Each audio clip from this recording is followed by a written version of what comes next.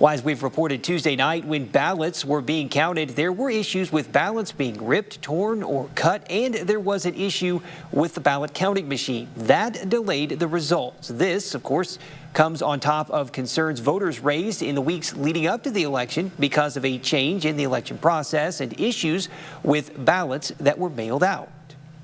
All three incumbents will officially retain their seats. Amy Thompson received 7,996 votes. Kim Skornogoski received 7,773 votes. Bill Bronson received 7,833 votes.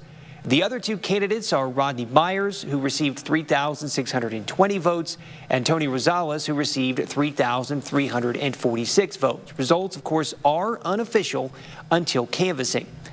Tomorrow, the Great Falls Library Board of Trustees will hold an emergency meeting to discuss the library's legal strategy for the upcoming library mill levy election. A news release from the library says, quote, given the recent issues in the conduct of the elections for the Great Falls Public School, Fort Shaw Irrigation District, and the West Side Flood Control and Drainage District, the Great Falls Public Library Board of Trustees have scheduled an emergency board meeting for Friday, May 5th at noon. The release also says possible board action will be discussed.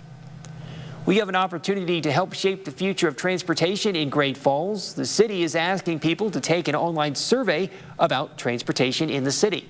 It asks questions like how many times have you used certain forms of transportation in the city in the past year and what transportation barriers prevent you from getting where you need to go on time. The results will be used to update the city's long-range transportation plan, which is updated every five years. The transportation plan is an effort to look into the future. 20 years into the future, typically, we want to know what our streets are going to look like, what our community is going to look like, what our needs are going to be, and so we'd love to hear from folks. You can find a link to the survey in this story on our website.